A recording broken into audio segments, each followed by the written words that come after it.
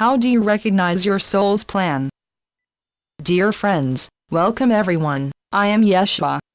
I greet you all from my heart. I am connected to you, so feel my presence. I am that which connects your hearts, for I represent the unity that is between us all. I ask you, now, to ground yourself, to connect your body with the earth beneath your feet and to imagine that roots sprout from your feet into the soil.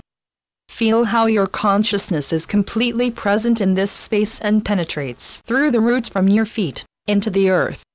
Feel the power of our collective energy, so that together we create a field of consciousness with a deep and pure intention.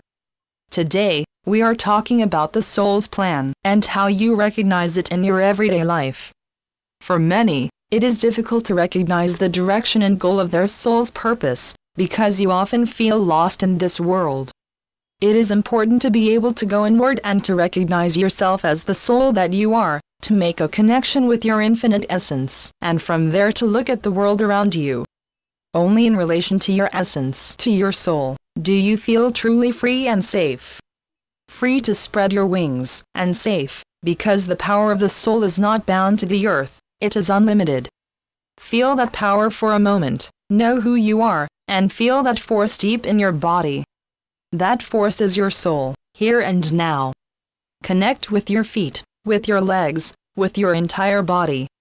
Concentrate on yourself, and not on the impressions and sounds coming from outside you, but solely on yourself. Feel your body from within. Feel how you can quietly travel with your consciousness throughout your body without being interrupted by external noises. Feel how you can experience the silence in the midst of the noise. That silence is independent of what is happening to you from without. A new consciousness wants to be born on earth. Now, more than ever, this is the new order of things and you sense it in your lives. There is a momentum that is taking place in many of you, and that which is pushing the current forward is your soul, that essence of which I speak. This essence wants to go along with the current of this time, wants to be of help, and desires to bring about a transition from the past, from the old fear-based energies to a new era, a heart-based consciousness. You are not alone on your soul's path. Your soul is connected to the whole. You are here not only for yourself but as part of a larger flow of change that is now touching the earth. And I ask you again to now make a connection with that flow and feel its grandeur. You are a soul, you do not have a soul. You are your soul and that soul is here with a mission, something the soul wants to complete in this lifetime. Descend to the level of your abdomen, breathe in, and relax. Make the connection to the earth, because it is so important to have soul knowledge at the level of the material, the practical, and the earthly. Sense that soul knowledge thoroughly, and give it form. At this time, it is not simply a question of feeling and experiencing your deepest dreams and desires, but also of giving them form in your everyday life, because the earthly reality is now ripe for change. Feel a connection from your abdomen with the heart of the earth, and feel welcome here on earth. You are so very much desired and wanted here. Feel how the earth itself is engaged in a great wave of change. Feel yourself float on that great current while you are firmly embraced by Mother Earth. You are safe. You have been called to be here. What is your contribution? Descend into your abdomen.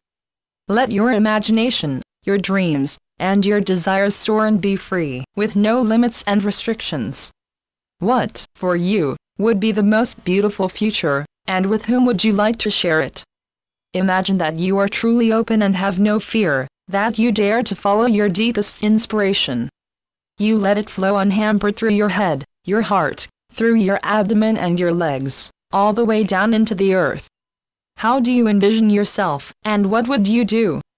Realize that, when you go along with that flow, you not only do something for and with yourself, you also connect with this larger picture, the dynamic of renewal that is now awakening on earth and is moving forward more swiftly.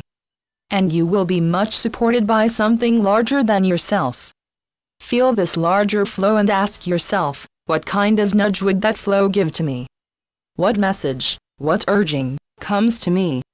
And that message can concern something external, for example, an indication of something you need to let go from your life, something you no longer need, a job, a living environment, relationships.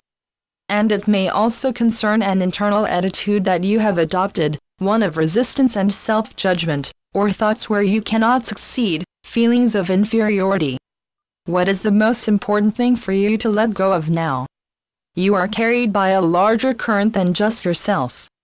That stream originates from the earth, from its desire for change, for evolution. Imagine that you are carried safely on that current and that it gives you a nudge now, an urging to do this, or to let go of that. Dare to go with the urging. Dare to take the step. The more individuals who take the step and dare to start living according to their deepest desire, the easier it is for others to follow, because you then become living examples that it can be done, that it is possible.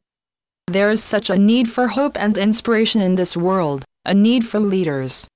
Not leaders who call the shots, but those who are willing to lead by setting an example, including all their vulnerability and humanity. That is the new leadership, when we speak today about finding and recognizing your own soul's purpose, I would like to emphasize that there is a link between your soul's purpose and that of so many other souls who also want to go along in the movement of change and renewal, so feel supported by that.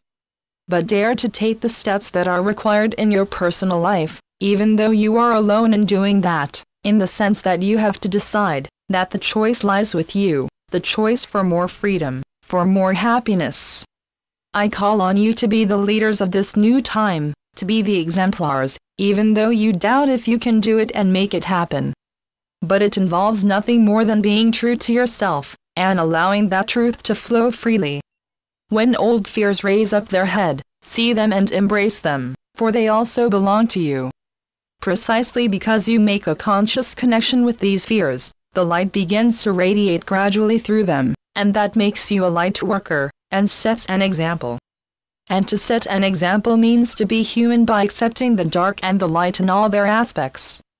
It means to have warmth and compassion, both for others and for yourself. That is being a forerunner of the new era.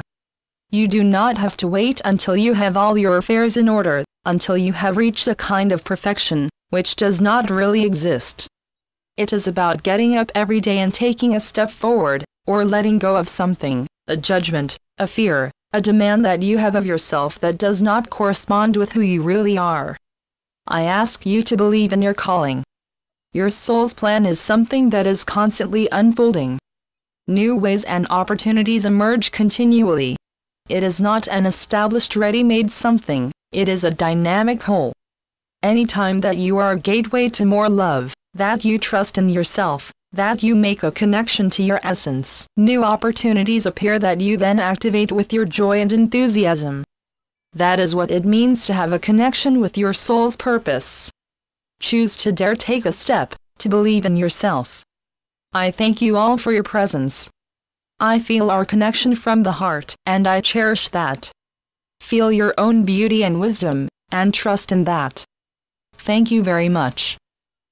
Channeled by Pamela Kribbe www.jeshua.net